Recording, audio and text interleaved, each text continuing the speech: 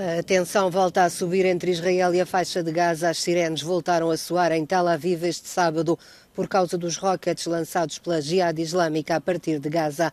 Os líderes da Jihad, que dirigem o território palestiniano com o Hamas, dizem que é a resposta aos ataques do exército israelita.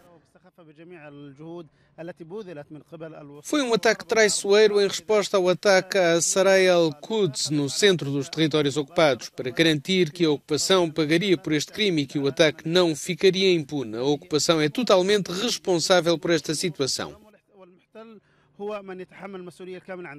No ataque israelita no centro de Gaza foi morto o comandante das brigadas Al-Quds, o braço armado da Jihad Islâmica. O ministro israelita da Defesa diz que os raids israelitas vão continuar. Continuaremos a frustrar os terroristas que planeiam lançar foguetes e munições guiadas de precisão para Israel. Atingimos dezenas de instalações terroristas utilizadas pela Jihad Islâmica para a produção e lançamento de rockets. Os sucessivos ataques israelitas mataram 11 pessoas em Gaza, entre as quais uma menina de 5 anos. Os observadores temem que possa estar a desenhar-se uma nova guerra israelo-palestiniana. A mediação egípcia, ajudada pelo Qatar e pelas Nações Unidas, tenta evitar este cenário. Israel diz que destruiu locais de fabrico de armas, rampas de lançamento de rockets e pontos de observação da Jihad Islâmica e que não negocia para já nenhum cessar-fogo.